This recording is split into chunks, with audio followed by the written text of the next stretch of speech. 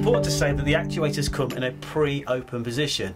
This is when they're partially open and it makes it much easier then to mount the actuators onto the manifold. So in the actuator box you get a small locking collar and that collar sits on top of the manifold. And to fit it just remove the black decorator's caps that came with the manifold and then screw on the collar finger tight onto the manifold itself and just repeat that process for all of the actuators on the manifold.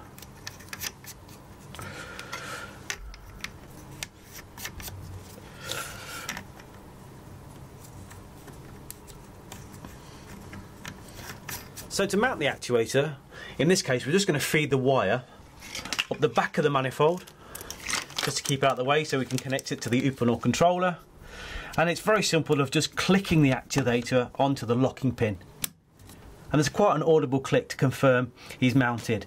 You can move him gently left to right but he's mounted solidly onto the locking pin.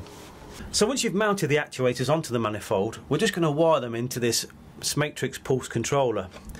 So the actuators come with two wires, a brown and a blue, typically live and neutral for most people. It's not polarity conscious, so it doesn't matter which wire goes into one hole, but the important factor is we only want to plug one actuator into one actuator port.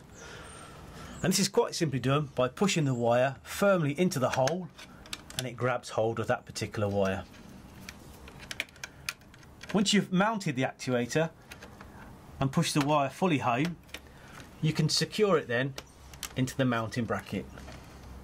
So now we're going to wire the rest of the actuators sequentially from left to right.